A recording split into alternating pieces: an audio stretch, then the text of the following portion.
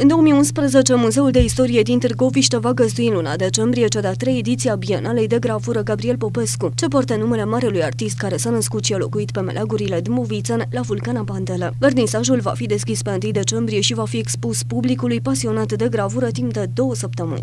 Complexul Național Muzeal Curtea Domnească din Târgoviște a lansat uh, invitația și regulamentul pentru Bienala Concurs de Gravură Gabriel Popescu, o bienală care iată a ajuns la uh, ediția a treia.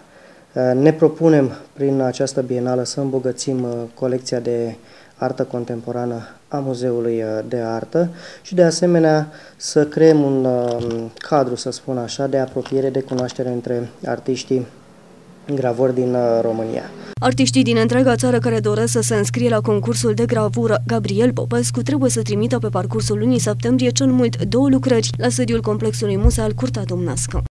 Toți cei care sunt în domeniu, sunt membri ai Uniunii Artiștilor Plastici din România sau studenții în Academiile de Artă din, din România, pot trimite pe adresa muzeului lucrării de gravură, maxim două, două lucrări, până la data de uh, 1 noiembrie 2011. Lucrările câștigătoare vor intra în patrimoniul complexului muzeal Curtea Domnească cu scopul de a îmbogăți colecția cu lucrări de gravură contemporană, iar premiile vor consta în bani.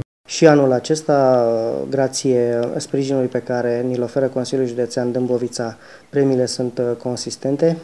Uh, vor fi premii între 2500 de lei premiul 1 și 1400 de lei uh, mențiunea 3. Festivitatea de înmânare a premiilor va avea loc chiar de Ziua Națională a României la Muzeul de Istorie din Târgoviște.